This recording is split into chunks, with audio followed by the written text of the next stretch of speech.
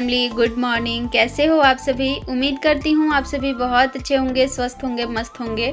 Friends आप सभी का बहुत बहुत स्वागत है आपके अपने YouTube channel Anamika lifestyle blog में।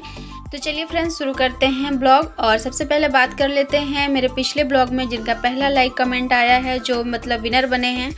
तो उनके चैनल का नाम है नॉलिस्ट नोवेलियन। तो वो मेरी पुरानी सब्सक्राइबर हैं और उनका कमेंट और लाइक आते रहता है। थैंक यू सो मच आप इसी तरह से लाइक और कमेंट करते रहिए और प्यारे प्यारे से कमेंट करिए। उनका कमेंट आया था कि दीदी मैंने ना रथ यात्रा के बारे में बताया था पिछले ब्लॉग में तो उन्होंने पूछा था कि ये कोई आ, मतलब त्यौहार होता है क्या? तो हाँ ये हमारे झारखंड में ना इसको बहुत ही धूमधाम से मनाते हैं। बहुत ही मतलब ख़ास त्यौहार है हमारे झारखंड के लिए ये। इसमें ना हम लोग ना जगन्नाथ भगवान की पूजा करते हैं और उनका रथ मतलब उनका रथ यात्रा होता है जिसमें काफ़ी श्रद्धालु लोग भाग लेते हैं। तो मैं तो यहाँ थी, कुछ कर नहीं सकती थी, इसीलिए ना जो हमारे यहाँ बनता है पकवान तो उसी में से मैंने कुछ खास जो बनता है वो मैंने बनाया था। और चलिए आज के ब्लॉग को मतलब ना कंटिन्यू करते हैं। तो सुबह से ना अभी ये जो टाइम है, ये लगभग साढ़े दस, ग्यारह का टाइम हो रहा है। सुबह से ना पानी के लिए भागा दौड़ी मची हुई है। कभी आगे आके देख रही हूँ कि कहीं बारिश तो होने नहीं लगी, कभी पीछे में जाके देख रही हूँ कि कहीं ऐसा तो नहीं कि मतलब पानी नल वाला चल रहा हो। तो सुबह से ना मैं बता रही हूँ पंद्रह से बीस बार मैं यही चक्कर काट रही हूँ क्योंकि पानी बिल्कुल भी नहीं है। कोई भी काम नहीं हुआ है, मैंने रात में पूरी और खीर जो बनाया था ना, वही बचा हुआ था। तो उसी से सुबह हम लोग मतलब वही नाश्ता किए हैं। उसके बाद ना सारे बर्तन पड़े हुए हैं रात के धोने के लिए। और मैंने सुबह बस झाड़ू लगाया है उठ के और कुछ भी नहीं किया। अभी ना थक हार के फिर मैं क्या सोच मतलब क्या ही करूँ, कुछ और उपाय है नहीं। तो वही ना मैं क्या कर रही हूँ कि अभी और खाने की तैयारी कर रही हूँ। क्योंकि अब ना खाना भी नहीं बनाऊँगी, हस्बैंड आएँगे तो उनको तो चाहिए फिर क्योंकि उनको फिर जाना भी होगा ऑफ़िस खा के।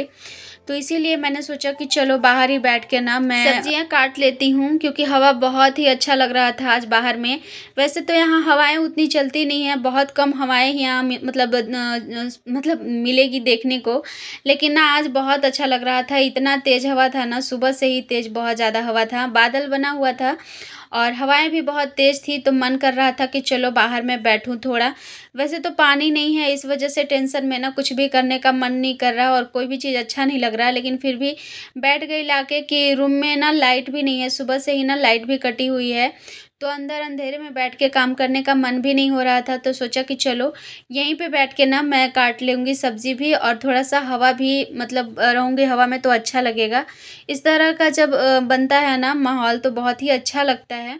और कुहू बाहर में ही खेल रही थी, लगभग इसको एक घंटा हो चुका है, तब से वो यहीं पे बैठ के और अपना जो भी खिलौना था, सबको ले आई थी और उन सब के साथ में यहीं पे बैठ के खेल रही थी, क्योंकि हवा जो था वो बहुत अच्छा लग रहा था। उसके बाद ना सब्ज़ी काट के और मैं तो लेकर के गई, लेकिन क्या था कि मुझे सब्ज़ी धोना था, चावल धोने थे, दाल धोना था मतलब ये सब के लिए पानी चाहिए था ना।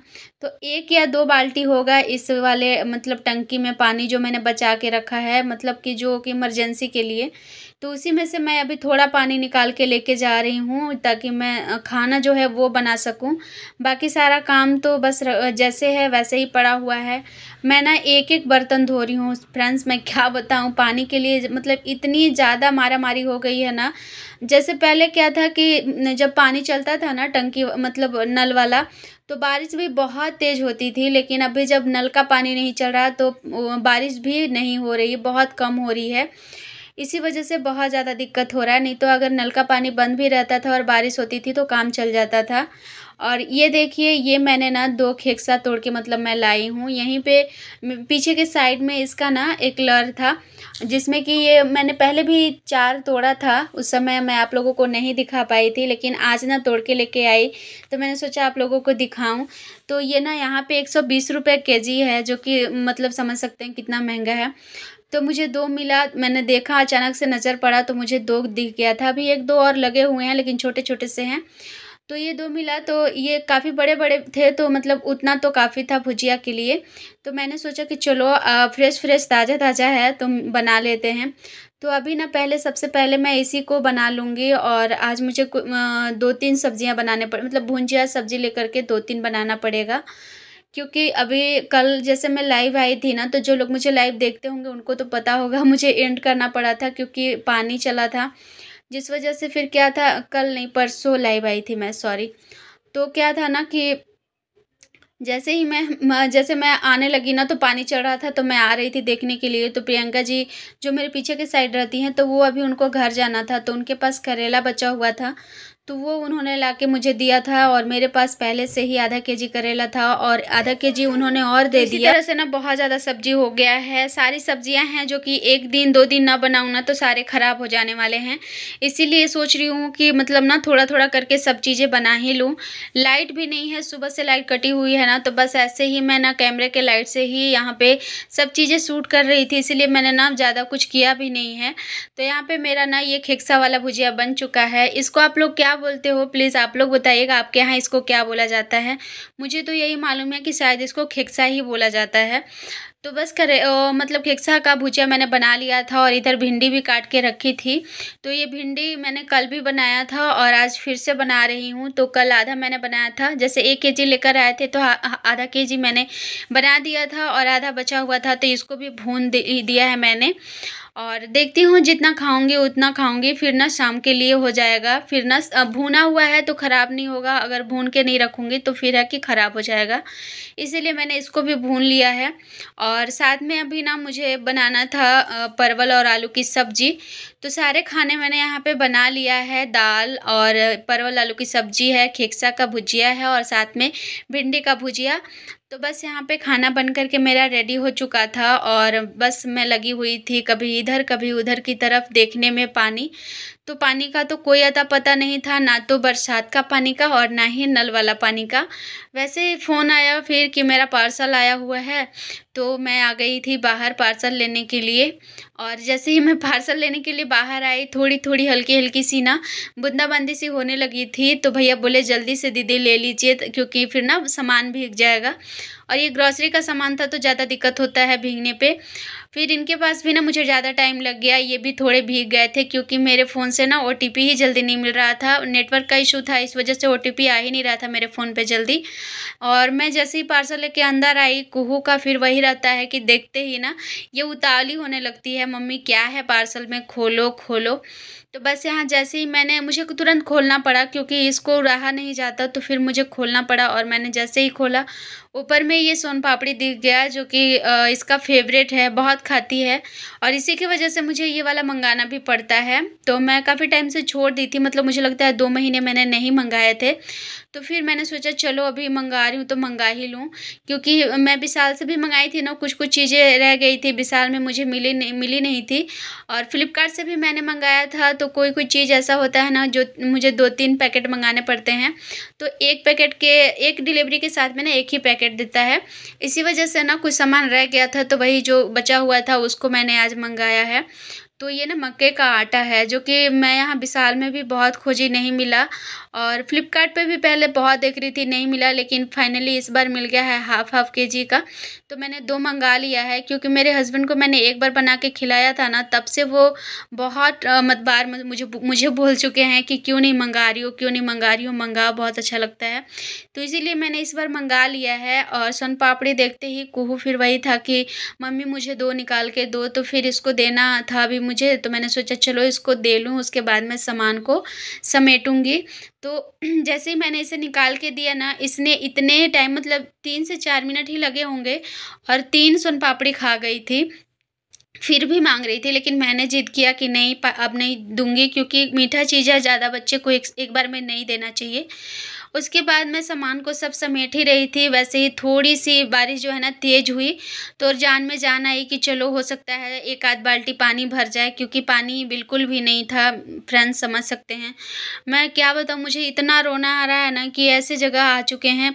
मतलब जगह तो ख़राब नहीं है, लेकिन हमारा जो कॉलोनी है ना, इसके अंदर पानी का बहुत दिक्कत होता है। जिस वजह से ना और भी कहीं से कोई उपाय नहीं है पानी लाने का। बस जो है, नल अगर वहाँ से देता है पानी तो सही है, नहीं देता है तो फिर ऐसे ही रहना है। पहले तो था कि आ जाता था वो जो होता है ना टंकी आ जाता था पानी वाला, लेकिन अभी पता नहीं मतलब दो, तीन महीने से आ ही नहीं रहा है, जिस वजह से और ज़्यादा दिक्कत हो रही है। तो थोड़े देर के लिए पानी चली, जैसे ही पानी चली थी ना, मैंने सारे बाल्टी को निकाल के लगा दिया था, मेरे पास जो भी छोटे मोटे बाल्टी थे सारे, कि थोड़े थोड़े भी पानी जमा हो जाएँगे तो बहुत सारे हो जाएँगे मतलब एक आध बाल्टी भी हो जाएँगे तो बहुत है। लेकिन पानी ना ज़्यादा देर हुआ ही नहीं, बस ना मुझे लगता है कि एक बाल्टी हुआ, हो चुका था सारे बाल्टी में से निकालने के बाद। हस्बैंड का भी तुरंत कॉल आया कि देखो बारिश हो रही है, जल्दी से सारे बाल्टी को निकाल के लगा दो। तो पानी के लिए अभी इतनी ज़्यादा मतलब मारा मारी हो रही है सभी लोगों को ये दिक्कत है। छोटे पोस्ट वाले हो, बड़े पोस्ट वाले हो, सभी लोगों को ये प्रॉब्लम हो रही है। यहाँ पे ना पैसों का कोई मोल नहीं है दिक्कत की वजह, सुविधाओं की वजह से। कुछ कुछ सुविधाएँ ऐसी हैं जो पॉसिबल नहीं है, जिसको हम लोग पूरा नहीं कर सकते। और उसके बाद अभी ना सारा कपड़ा, ये सारा सूख गया था, जो मैंने परसों धोया था ना तो वो सारा कपड़ा सूखा हुआ था परसों और कल में सारे कपड़े सूख गए थे तो अभी ना इन सारों कपड़ों को मैंने तो उठा के ले आया है, बस अब इसको बस मोड़ के और रख दूँ, क्योंकि सुबह ही मैं उठा के लाई थी, आप लोगों ने देखा था ना, और अभी का जो टाइम हो रहा है, वो ना लगभग ढाई बज चुका है, और फिर क्या है कि सिलवटे पड़ गई हैं, जब से रखा है मैंने उठा करके, तबीयत आज थोड़ी मेरी ठीक नहीं है, जिस वजह से ना काम करने का भी मन नहीं कर रहा था तो कपड़े मैं उठा करके लाई थी ना तो ऐसे ही रखा हुआ था, और कुहू का आज थोड़ा सा ज़्यादा जो था ना, कुहू भी ज़्यादा परेशान कर रही थी आज मुझे। तो ऐसा लग रहा था मैं रोने लगूँ, क्योंकि बच्ची है वो तो समझती नहीं है कि मतलब क्या दिक्कत है तो परेशान ना करूँ। उसको तो बस यही लगता है कि परेशान करना है, अपना जिद पूरा करना है, इसी तरह से करना है उसको। लेकिन मुझे ठीक नहीं लग रहा था तो मुझे कुछ भी अच्छा नहीं लग रहा था, ना तो काम करने का मन कर रहा था, और ना ही कुहू जो परेशान कर रही थी ना तो लग रहा था कि कितना ज़ोर ज़ोर से रोहूँ मैं चिल्ला करके। तो कभी कभी अकेले रहने पे ना ये सारी चीज़ें मैनेज करनी पड़ जाती है, क्योंकि हम इंसान ही हैं, दिन रात लगे रहते हैं काम में तो होता है थोड़ी बहुत, तबीयत तो ख़राब हो ही जाती है और ख़ास करके मेरा तो है, मैं तो बहुत जल्दी जल्दी बीमार पड़ती हूँ। फिर ना सारे कपड़े मैंने रखने के बाद ना अभी थोड़ा सा मैं बेडशीट ठीक करूँगी और थोड़ी देर के लिए निकलेंगे घूमने के लिए बाहर में, अभी तो कुहू सो के उठी हुई है। तो मैं सोच रही हूँ कि थोड़ा देर के लिए लेके बाहर में निकलूँ ताकि मुझे भी अच्छा लगे, घर में बैठे बैठे ना बोर सा लगने लगता है। तो यहाँ पे मेरा हाथ जो था ना, बहुत ज़्यादा दर्द हो रहा था। मैंने कपड़े जो धोए थे ना, एक ही दिन बहुत सारे कपड़े धो दी और दवाइयाँ भी मेरी ख़त्म हो गई हैं। हाथों के, जो हाथों का जो दर्द का जो मैं दवा कर, खाती हूँ, वो वाला भी ख़त्म हो चुका है, जिस वजह से इतना दर्द था हाथ में कि ना, हाथ को मैं नीचे ना सपोर्ट भी नहीं दे पा रही थी। मतलब बैठने उठने के लिए ना, मुझे हाथ पे बिल्कुल सपोर्ट देने, देना ही नहीं पड़ रहा था, इतना दर्द था। फिर यहाँ देखिए सारा काम हो गया, अभी मैं झाड़ू करूँगी और उसके बाद थोड़ा सा निकलूँगी बाहर कुहू के साथ घूमने के लिए। और आज के ब्लॉग को यहीं पे करती हूँ, एंड उम्मीद करती हूँ आज का ब्लॉग आप सभी को पसंद आया होगा। अगर पसंद आया हो तो प्लीज़ लाइक ज़रूर करिएगा, मेरे चैनल पर आप लोग नए हैं तो सब्सक्राइब भी कर लीजिए। और फ्रेंड्स मुझे सपोर्ट ज़रूर करिए, आप लोगों का सपोर्ट थोड़ा मिल रहा है तो एक उम्मीद बन रही है आगे बढ़ने की। और इसी तरह से आप लोग का प्यार बना रहे। चलिए मिलते हैं नेक्स्ट ब्लॉग में, तब तक के लिए you. Bye bye.